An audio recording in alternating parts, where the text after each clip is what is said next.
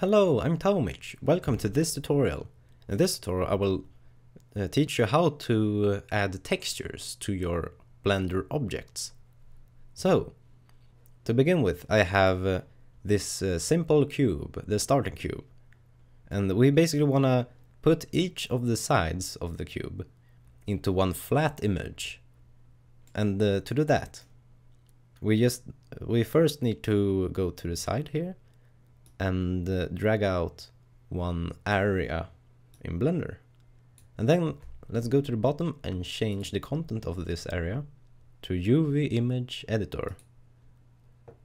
So now we can see that we have a flat image on the right side here. Now we basically want to apply each of the 3D blocks sides onto this flat image so that we later can put a texture or even make a texture right here and apply its content onto the faces of the cube. So to begin with, we will need to uh, basically select each of the cube's sides and then put them to the image. And there are multiple methods to do this. One which is called unwrap. And uh, to unwrap, or unwrapping basically is an auto-generating tool in Blender to put every all of the faces into the 2D place. So I'm now gonna show you how to unwrap. So let's then go into edit mode while selecting the cube. Like this. So now the entire cube is selected in edit mode. Let's then select um, two edges that are between each other so that we have marked one entire line between two faces.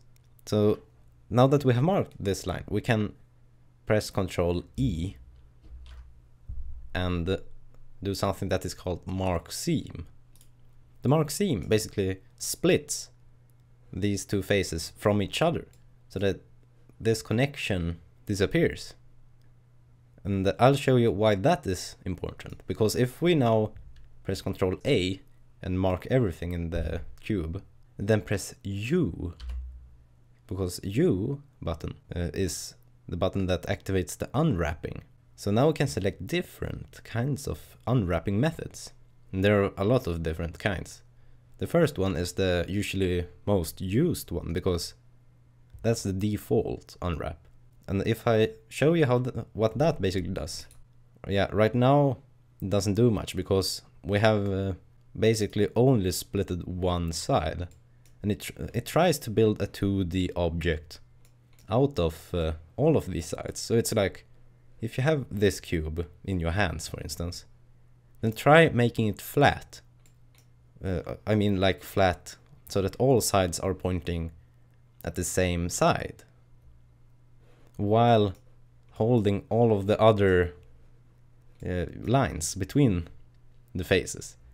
Well, that is basically impossible. So to make that possible, we need to select uh, more lines and basically open up the entire cube. Or because this is like, if the cube is a paper structure or something, that there is there are papers on all the sides, then the red lines here show where there is an opening, where you can open them or separate them.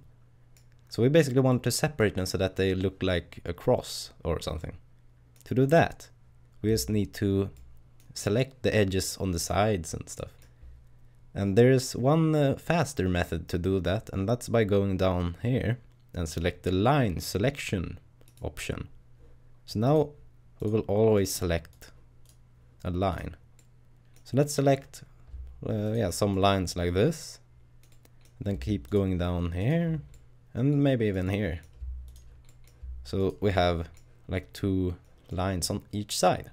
Now that we have selected all of these sides here, we will just need to press Ctrl E and then mark the seam so that all of these places will be splitted. Uh, now, if you press A to mark everything, and actually I should uh, add this so that you can see what buttons I press. So now that we have marked everything, we can press U and unwrap. And now you can see the shape that we have made. Because if you look at the, our shape here, we have one square area here, which will be like isolated from all sides except this side. So it will be only connected here. This side will only be connected to the one up there and this one. So it will be like a middle site between the bottom and this more uh, higher up one. Then this one also connects to this area here or this face, which is connected to both sides there. And basically that applies as a T. Because yeah, if I just select, if I go down to the area tool here and select one area at a time, then I can see exactly where each of these areas are applied. And by holding shift while selecting, I can show you exactly where they also are. If I just keep the camera there and show you the position of each of these squares, then you can see that this one isn't connected to that one because of the red lines splitting them up. But it is connected to this one, exactly as you can see on the right area here. So this is basically how you apply your seams. You can apply them however you want. If you select everything and then press Ctrl E again, then clear seams, then you will be rid of all of them. But your uh, UV will still be there until you change them. There is also other met methods to make your UV. One is to use the other pre-made UV methods. Smart UV, for instance, just adds them up like this something. It can be entirely random and if I go down to the selection option down here, then I can select one entire area at a time. So if I move, I can move these one independently between each other by pressing G and moving it. Yeah, you can actually rotate these and scale them with exact same buttons as you use in the 3D environment. But uh, basically, we just need to choose some. Uh, we can we can even choose and isolate some areas by adding seams to all uh, all around. But if I just go back and add like this, the mark seam, and mark everything, unwrap, then we have come back to normal. You can also move each of these parts now. But then we need to change from the entire selection option to just face area selection option. So now I can move each of these parts. But as you can see, they are related to each other. The edge, each of the edges are connected to each other.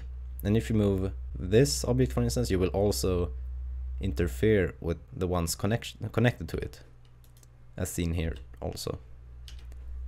So now that we know how to unwrap in some basic methods, we can start making our own textures.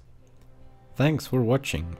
Check the next part of the video to see how to fully create your own textures on your object. Good luck and see you later. Goodbye.